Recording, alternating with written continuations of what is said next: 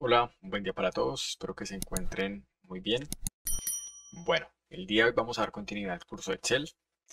Entonces vamos a trabajar con una función muy práctica con la cual podemos aprender cómo calcular la edad de una persona o cómo calcular los años transcurridos entre una fecha u otra. ¿Listo? Es de recordar, no olviden suscribirse al canal, me apoyarían bastante, ¿no?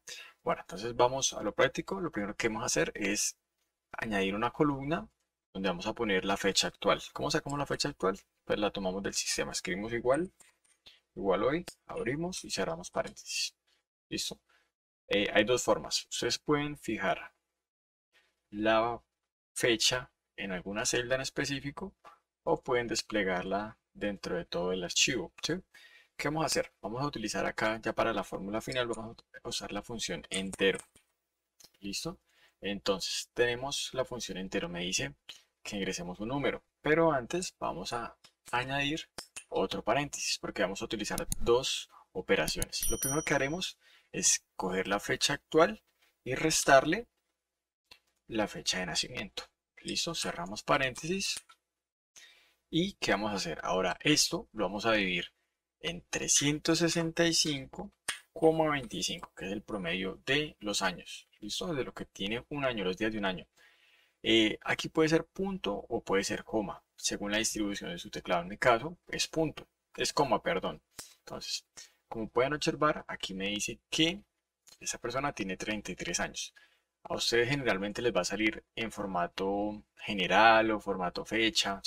Lo único que tienen que hacer es irse acá al formato de la celda y le van a dar número.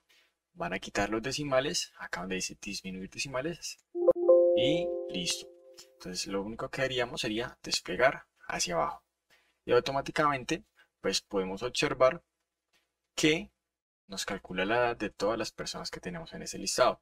La otra forma que les decía, por ejemplo, copiamos acá este campo de edad y marquemos estas celdas, todos los bordes, listo. Por ejemplo, yo solamente pongo la fecha en esta celda, entonces vamos a hacerla igual a entero entonces, la fecha actual, vamos a seleccionar esta y vamos a presionar F4. Con esto dejamos fijada esta celda, es decir, que cualquier operación que hagamos va a tomar esta celda y las otras de aquí para abajo. Entonces vamos a tomar la fecha inicial, que es la fecha actual, menos la fecha de nacimiento. Listo. Acá nos faltó un paréntesis. Dividido. 365,25 cerramos y listo. Entonces, por ejemplo, si yo me paro en esta celda, me está tomando la que tenemos fijada aquí, ¿listo?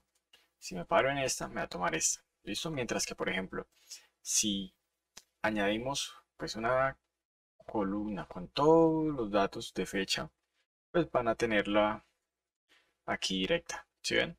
Entonces con eso nos ahorramos añadir más celdas a nuestro Excel, ¿listo? Entonces espero que este video les haya servido bastante y que sea de gran utilidad. Si tienen alguna duda o inconveniente, no olviden dejarlo en la caja de comentarios y cualquier cosa, pues escribir un comentario. Listo, nos vemos en el siguiente video. Hasta luego.